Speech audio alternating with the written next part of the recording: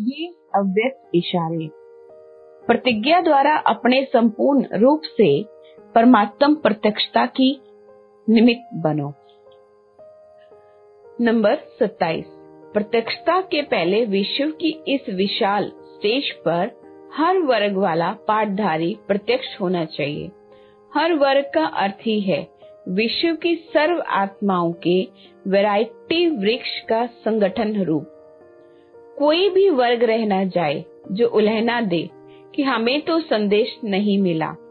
इसलिए नेता से लेकर झुग्गी, झोपड़ी तक जो भी वर्ग है, पढ़े हुए सबसे टॉप, साइंसदान और फिर जो अनपढ़ हैं, उन सबको संदेश देकर अपने जीवन के प्रत्यक्ष प्रमाण द्वारा समीप संबंध में लाने की सेवा करो, तब प्रत्यक्षता होगी।